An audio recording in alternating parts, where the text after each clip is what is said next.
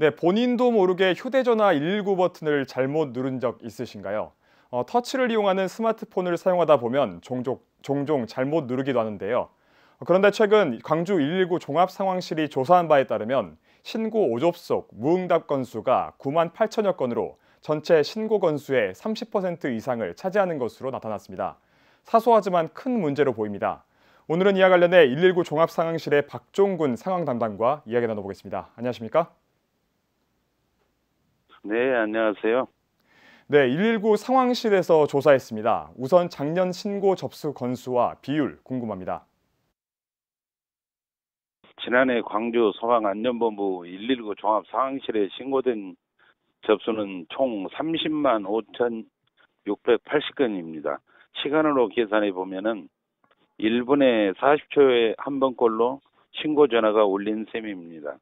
세부적으로 분석해 보면 소방차가 출동하는 화재, 구조, 구급과 같은 전환 신고는 9만 3,044건으로 전체의 30.4%를 차지했고 민원 안내와 의료 상담 신고는 9만 7,697건으로 전체의 31.9%를 차지했습니다.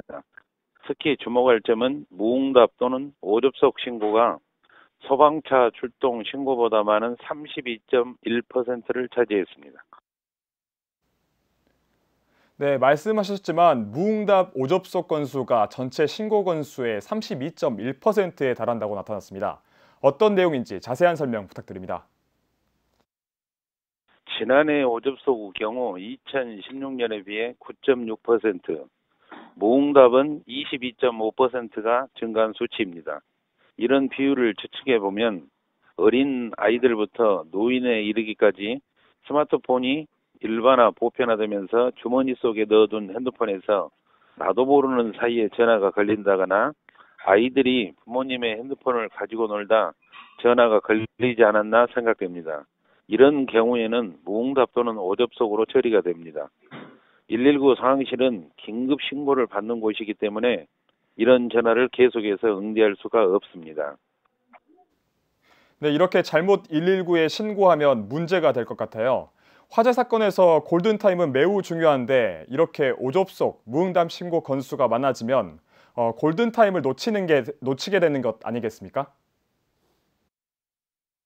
마, 말씀해 네, 주시기 그렇습니다. 네, 그렇습니다. 앞서 말씀드렸듯 1분 40초에 한 번꼴로 신고 전화가 울린다고 했는데요. 단순하게 수치화시켰을 때 이렇게 발생한다는 의미이지 꼭 그렇게 신고가 접수되는 건 아니지 않습니까?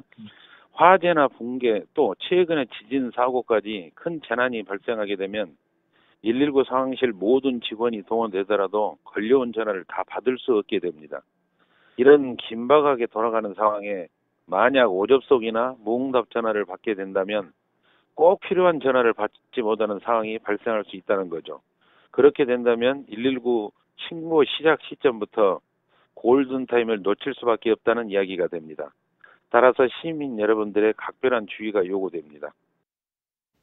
네, 마지막으로 시민분들에게 당부 말씀 전해주시죠. 아, 스마트폰을 사용하고 계신다면 119 신고 오접 속에 각별히 주의해 주십시오. 특히 아이들이 핸드폰을 가지고 놀다 신고가 될 수 있는 만큼 어른들의 많은 관심을 부탁드립니다. 네, 개개인 모두가 조금만 주의해도 이런 문제는 해결할 수 있다는 생각이 드는데요. 성숙한 시민의식 멀리 있지 않습니다. 오늘 말씀은 여기까지 나누겠습니다. 고맙습니다.